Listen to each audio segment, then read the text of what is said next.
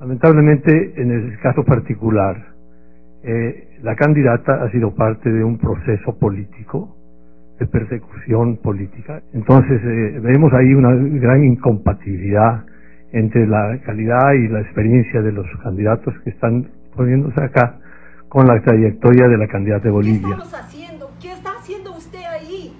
¿Cómo nos puede representar a nosotros? No es digna usted. Eso es mi dolor, mi rabia, mi incapacidad. Soy el pueblo, yo soy del pueblo, soy de familia campesina, agricultora, no soy ningún diputado o no vengo de familias políticos, nada, yo soy el pueblo, basta, hay que desenmascarar a esta gente, señores. Ella violó mis derechos humanos. ¿Cómo diablos puedo yo pensar que una persona que ha violado los derechos humanos puede formar parte de semejante institución que vela cabalmente por los derechos humanos? Esta señora le inició un proceso penal a mi hijo aquí presente que tenía 14 años.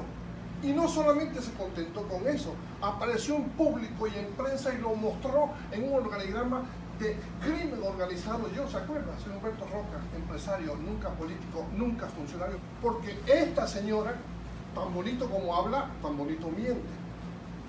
Se olvidó de que tenía que cabalmente defender los derechos humanos, porque inclusive si yo fuera delincuente yo no vengo a defenderme.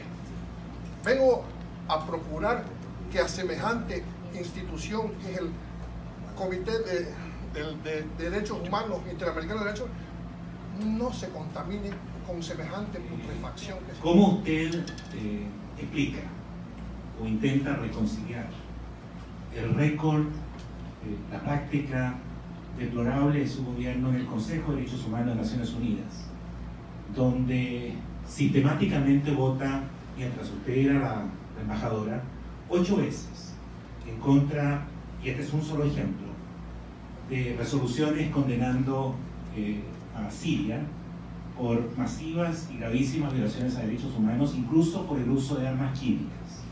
Para postularse a un puesto tan importante en la Corte Interamericana de Derechos Humanos, hay que tener un compromiso básico con la vigencia de los derechos humanos, con la protección de los He sido ministra de un presidente que ha hecho cambios en Bolivia. He, hecho, he sido ministra de un presidente que ha dado voz a los sin voz. Si eso significa tener que escuchar todas estas cosas, no tengo ningún problema.